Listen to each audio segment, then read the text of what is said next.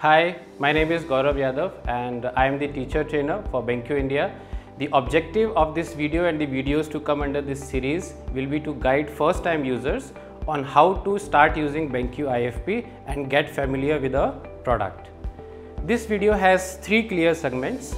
First, the basic user interface introduction, followed by introducing you how to use the sidebar and lastly, learn about all the icons on the home screen.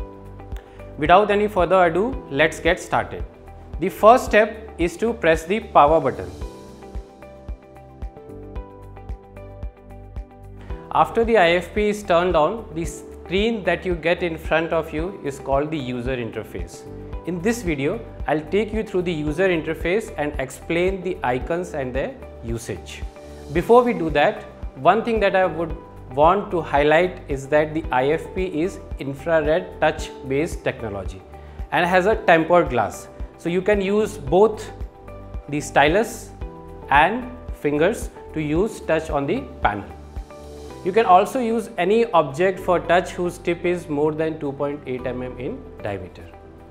Back to the icons on home screen, let's check them out one by one.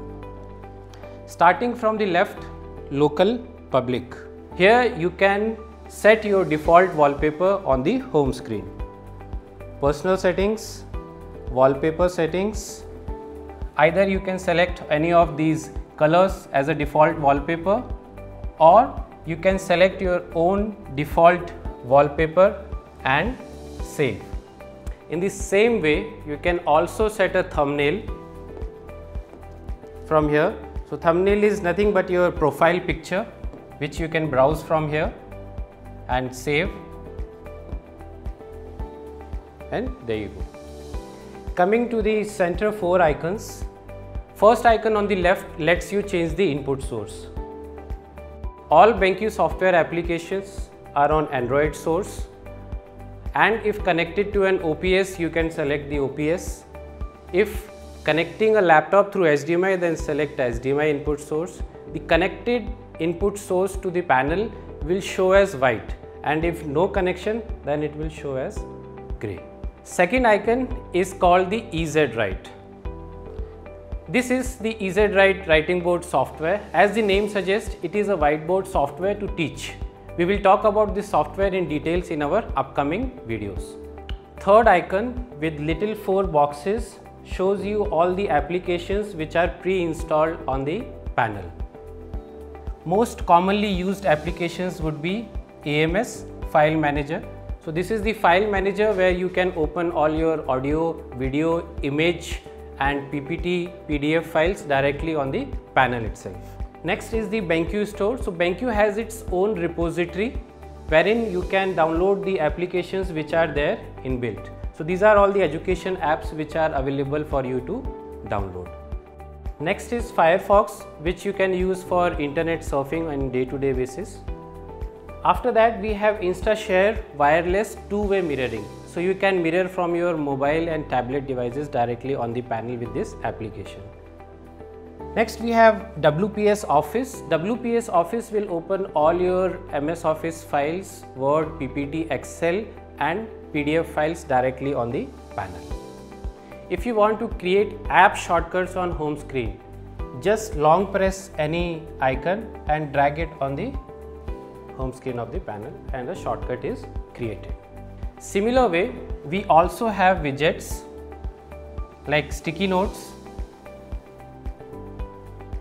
Next is toolbox and the clock. So you can set the time zone, you can have thought for the day. If you want to remove any widget, just long press and take it to the center. Same way you can also delete the app shortcuts. So if you see the home screen, bottom right area is for app shortcuts and top area is for widget shortcuts. Fourth icon is for settings. General tab lets you increase or decrease the volume or mute the speakers. From picture you can enable or disable the eye care feature or the auto backlight option which automatically adjusts the light of the panel as per the ambient light. Here you can see. or if you disable both you can increase or decrease the display brightness. Network tab lets you connect to the internet via ethernet or Wi-Fi. For Wi-Fi I have connected a BenQ recommended Wi-Fi dongle to the USB port which also gives me option to enable the hotspot on the panel. So if you are not connected to any network you can also create a hotspot on the panel. On the home screen there are single angle mark which carries common tools. It is on both sides of the screen. So if you are on the left side, you can use the left key. If you are on the right side, you can use the right key. And we call this the sidebar.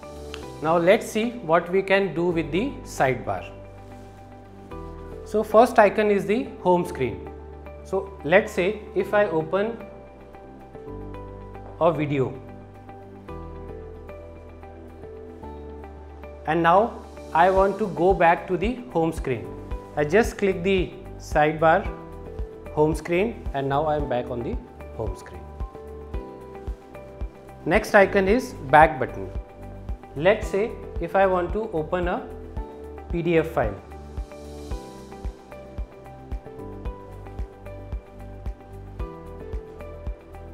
So PDF file is open. Now I want to open another file.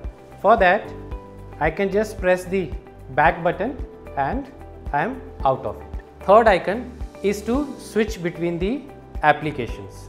So let's say we have video running, we have a WPS Office PDF, we have Firefox browser. So I can switch between the applications from this icon.